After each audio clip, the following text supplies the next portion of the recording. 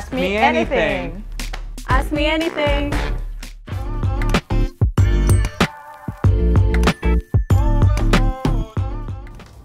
Where is Okinawa? My God, where is Okinawa? It's such a small island. I know. Can barely see it on a map. Okinawa is basically like just this small island on the very south of Japan. It's basically in between Taiwan and Japan. Now, I'll be honest with you. I, for one, I didn't know where Okinawa was, and I actually had to Google that when I, you know, oist. Uh, it's tropical. Having lived in the Caribbean, the, I call Okinawa the Jamaica of Japan. Uh, it's serene. The waters are blue. The people are nice. The weather is bombastic. So just think of it as being south of Japan, a, a subtropical island.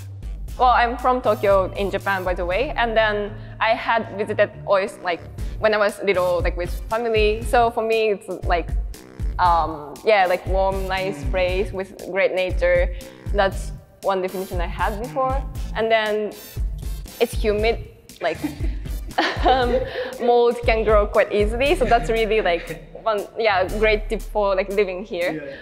What's the weather like? I personally like the weather because there's a lot of sun here. Uh, so it's an island, so you can have crazy beautiful day with beautiful clouds and amazing sunlight, and then the next second you get rained on. Uh, apart from that, it gets super humid, but it's island weather and it's quite nice, especially because you can go enjoy it at the beaches. Don't ask me. I don't like the humidity of Okinawa. What's one thing that surprised you about Okinawa? Mm. The price of mangoes. It's so expensive. It breaks my heart, especially since I'm from India and we have a mango farm. But otherwise, Okinawa's cool.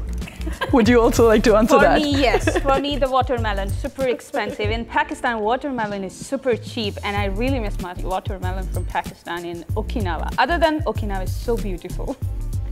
Do I need a car? Yes, yeah, you basically need a car. you here. need. There is no way that without car you can survive in Okinawa because in Okinawa, uh, at least where we are in Onna village, uh, there is no train system and taxis are very expensive. so forget about it to get a taxi here if you really want to save your money and survive in your stipend. So you need a car, but the good thing is here you can get a K car, which is a super cheap car. The car I have I cannot buy that car in Pakistan because it's very expensive, but you can see I can have it here even being a student, so that's a good way. So you can get your K car uh, with a very cheap price, like the used car, and the dealers are good. OIST is going to help you to find a good car, and other than that, you can enjoy whole Okinawa with your this small, teeny tiny, cute cars, as I'm doing it from last five years. What is the food like in Okinawa? What do you think? Um, it's okay. Um, there's a lot of like food you can try. I feel because there's also a lot of Americans here, so I feel like there's a lot like Americanized food. But still, I think my favorite's still Okinawan soba. So yeah, I really like it. What about you? Mm, yeah, I, I feel like I explored a lot of uh, food here, to be honest. Not just Okinawan and Japanese food, but also uh, different, like food from different places and different cultures as well. Uh, so I've been vegetarian slash vegan for some time, and uh, luckily also there are options for that here. So I think I'm very lucky in that regard. Okay, so next question is Do I need to learn Japanese? Um, probably a little. Um, you don't need to come here knowing any Japanese. I would say if you have even the most kind of remedial Japanese ability, but there are classes here, there are ways to improve your Japanese.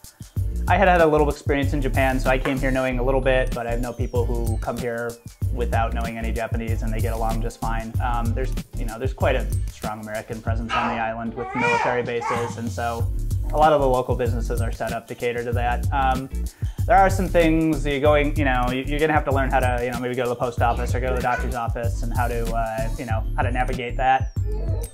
Go to the doctor's office a lot. So, uh, Okay. with children. What do you do for fun? Okay. what can we say? Besides watching anime and reading manga, um, I always we have a lot of clubs, and why I am a member of volleyball club. And I also do yoga, so that's what I do for fun. What about you, Chris? Uh, so yeah, we have a lot of clubs here. I'm an active member of the Aerial Circus Club. Ooh.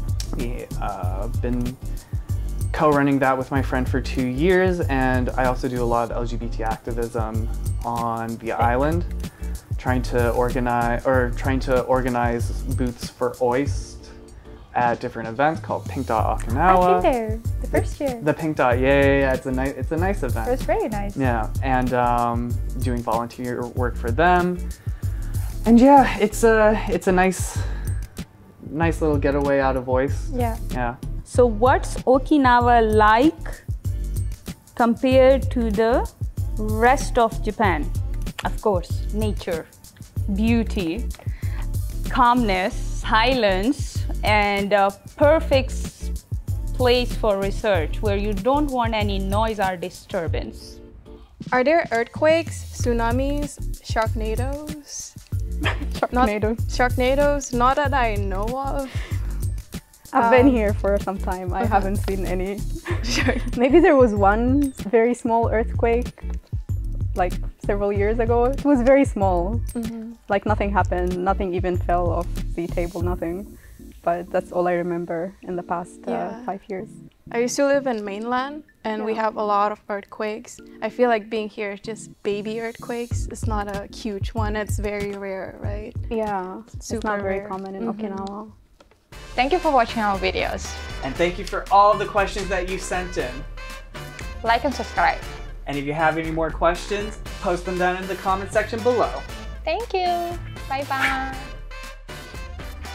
Okay, so the key question, can I have a family and do a PhD at the same time? Um, do, you, do you want to?